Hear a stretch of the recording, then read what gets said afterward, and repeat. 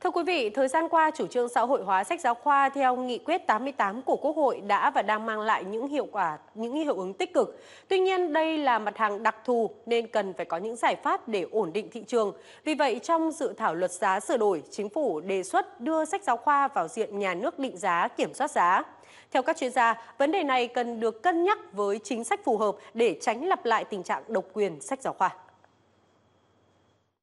Thực tế, chủ trương sách hóa sách giáo khoa đã thu hút được đông đảo các nhà giáo, nhà khoa học tham gia viết sách. Đơn cử như bộ sách Cánh Diều đã huy động được 350 tác giả tham gia viết và biên soạn. Việc biên soạn sách giáo khoa theo chương trình 2018, các doanh nghiệp tự bỏ vốn để thực hiện toàn bộ các khâu, trong khi trước đây nhà nước hỗ trợ rất nhiều. Vì vậy, việc định giá sách giáo khoa cần dựa trên cơ sở tính đúng và tính đủ. Chúng tôi sẵn sàng và chấp nhận cái gì luật định, chấp nhận pháp luật định. Tuy nhiên, chúng đề nghị bộ đào tạo và các cơ quan các các bộ ngành chức năng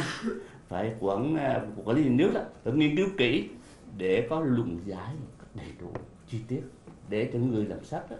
không có thể chấp nhận được có thể là, à, là hợp lý để sống được sống được làm được phương. Theo các chuyên gia, định giá quan trọng là những nguyên tắc phương pháp định giá, làm sao vẫn tạo động lực cho các nhà xuất bản huy động tối đa nguồn lực của các nhà khoa học, tránh tình trạng cạnh tranh không lành mạnh. Bộ Giáo dục Đào tạo ban hành định mức kinh tế kỹ thuật về sản xuất sách giáo khoa để các nhà xuất bản này căn cứ vào đó mà tính giá thành. Cái thứ hai, đi cùng với ban hành định mức kinh tế kỹ thuật ấy thì Bộ Giáo dục Đào tạo ban hành quy chế tính giá riêng cho sách giáo khoa. Ngoài cái quy chế tính giá chung do Bộ Tài chính ban hành thì sách giáo khoa được đặc thù chăng nữa thì có cái quy chế tính giá riêng. Thì sau đây Bộ Giáo dục sẽ phải tham mưu nhà nước có những cái căn cứ xây dựng cái tiêu chuẩn định mức để định giá là chúng ta là giá giá trần